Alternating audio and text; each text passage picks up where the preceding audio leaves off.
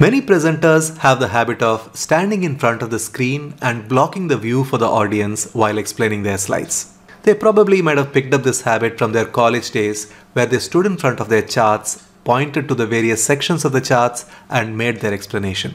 However, when they get into a corporate setup, this habit of blocking the view for the audience by standing in front of the screen becomes an annoying factor.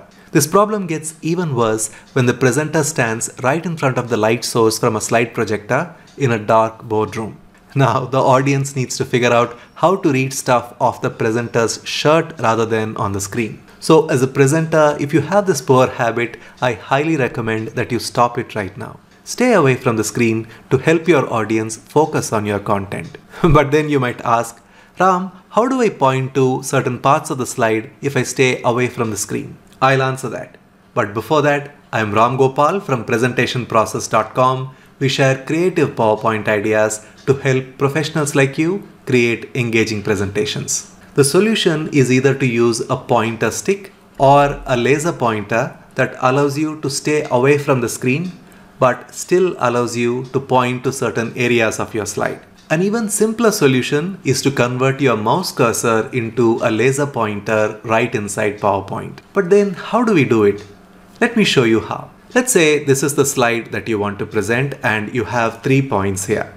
Now you want to draw the viewer's attention to the first term. All you need to do to convert your mouse cursor into a laser pointer is while you are in the slideshow mode, hold the control button down and then click on the left mouse button and you'll be able to point to any area of your slide like a champ. Remember, you need to be in the slideshow mode for this to work. But then what if you don't use a mouse? Is there a way that you can convert your cursor into a laser pointer? Yes, you can. All you need to do is while you are in the slideshow mode, take your cursor to the bottom left corner of the slide and the third icon from the left is this one called as the pen. You click on that and that opens up this menu. You click on laser pointer and now you have your cursor turned into a laser pointer.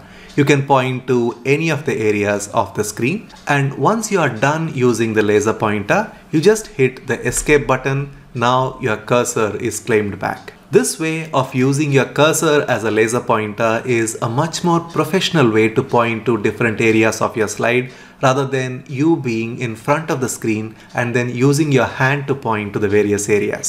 There are tons of such useful tricks in our complete PowerPoint Foundation course, which is a practical course on PowerPoint.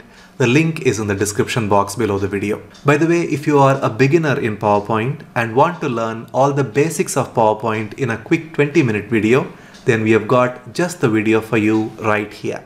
All you need to do is to click on the link here and start watching that video to learn PowerPoint basics in a very quick way.